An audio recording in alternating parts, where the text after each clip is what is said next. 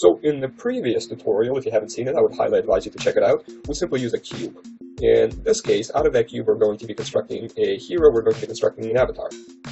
All of this will be done in cubes, but each cube constitutes of quads, and each quad then constitutes of triangles. Triangles are the most fundamental shape in 3D. Of course, each one of these triangles then consists of vertices. When put together into a triangle, you will also have something called a normal. And a normal is the way in which a, any polygon faces in order to get shading from the rendering engine. Now I'm putting all of these together to form objects. Each object then can be put together to create a model. So in our case, it's the block man. UV mapping is a way to get textures onto the object. When we unwrap all of these, then we'll get proper texture mapping. Each one of these cubes, these boxes, is unwrapped. We will have six faces, which will be mapped to the texture, which is represented at the right side of the screen. All of these are virtually a Cartesian system of x and y coordinates, but is referred to as respectively u and v. Okay, so it seems that we have proper mapping. Now we're going to be applying a texture onto this in order to actually demonstrate that the UVs have been properly mapped. All of these, of course, will be available online, and you do not have to do this if uh, you don't have experience. So in rigging, we will be putting together a hierarchical structure in order to animate each object. Now, in our model, we do not have a structure uh, based on a hierarchy. Instead, everything is based on the root level. But in this case, we want to move each one of the bones in according to its parent bone. For example, we want to move the forearm in accordance to the bone of the shoulder. So you can see I'm going to be placing the bones uh, exactly where my mesh would have the proper parts. If you don't have that, if you don't have the hips at the hip part, the elbows at the elbow part, the uh, phalanges, the fingers, and etc., etc., then you will not have proper mesh deformation. In this case, I'm not going to be needing all parts of the mesh, so I'm going to shrink some and simply delete the other ones. In fact, considering the cubes that I'm using are not subdivided, we will actually not need too many bones. Okay, I'm just going to align these in four views, and then I'm going to map all of these. I'm going to weigh all of these bones against the skeleton with just automatic weights and let's see how it deforms. Okay, well, that looks okay for what we're building. In animation, we're going to be taking this rig and applying it via different cycles and different clips. Some clips, such as an idle cycle, are needed to be looped, considering the character is constantly going to be doing that. And for each loop, we want to make sure that they're matching, otherwise we're going to have some jerky motions. Some clips don't need to be looped, however, such as, for example, the jump cycle. A jump does not need to be looped. Even if the character is constantly jumping, uh, all of these are going to be triggered actions.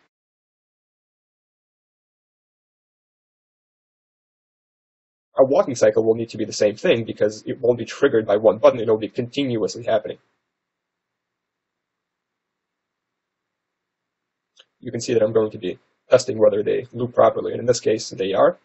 Now, keep in mind, all of these turns and all of these rotations are based on something that's called an Euler. And an Euler is a system of hierarchy of rotations which typically are very convenient to be used for animations. It has several problems, however, such as, for example, gimbal lock, in which all of these axes will then align. This is solved by Unity by using something called quaternions. And you can see I'm having some problems rotating as, uh, as well here. So you can have uh, you can have turns for over 360 degrees, so they're going to be spinning continuously, or you can have turns that go out of these axes and really have some unexpected rotations. Now, quaternions you don't actually need to understand uh, to do most animations in Unity.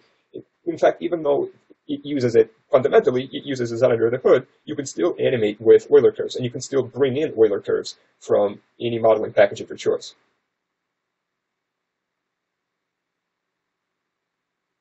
So what I'm going to be doing here is I'm going to be taking the first frame of the clip and I'm going to copy it to the last in order to get a complete and proper cycle. Okay, so without all of the jump, idle, and turn animations, I will do them and pause the video for a second while I finish. Okay, so it seems that we have all of the animations that we need, so let's stop this model for now and everything seems to be set up and move on to level creation. In level design, we would have a system of collisions, so our character does not go off to the side and also does not fall through the floor. I'm going to be creating this out of a simple cube, and while we could be using each asset, we could be using rocks or any doors or anything else to uh, to create a system of limits in which a character can move. I'm going to be creating this out of a cube and then placing each object without colliders, unless I specifically need them.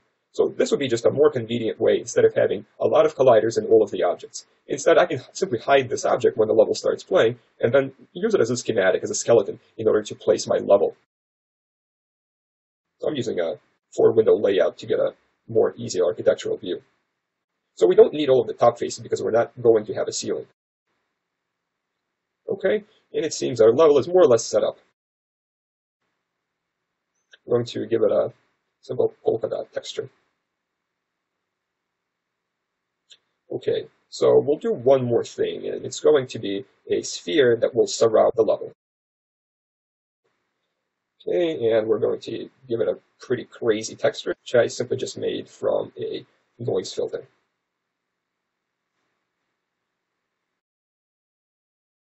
Now we're going to be using a particle system as well, so let's give it a some sort of sprite which it will then duplicate in every single one of the particles.